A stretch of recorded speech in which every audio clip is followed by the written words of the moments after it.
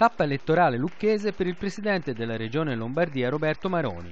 L'esponente della Lega Nord ha incontrato all'Hotel Guinigi i candidati toscani alle elezioni europee Manuel Vescovi ed Elisa Montemagni.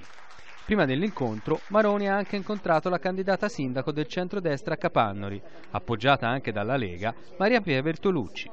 Nonostante un notevole ridimensionamento a livello locale del partito del Carroccio, Maroni si è detto fiducioso dell'apporto toscano al suo partito alle elezioni europee. Ma ci aspettiamo grandi risultati perché la battaglia contro questa Europa che non funziona è una battaglia non solo delle regioni in cui la Lega è più forte, Lombardia, Piemonte, Veneto, ma è una battaglia di tutta l'Italia.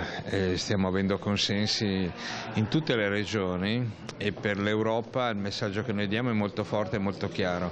Ridiscutere questa Europa che non funziona, ridiscutere la nostra partecipazione all'euro e trovare una soluzione, la proposta per l'Europa delle regioni e dei popoli, non l'Europa delle banche.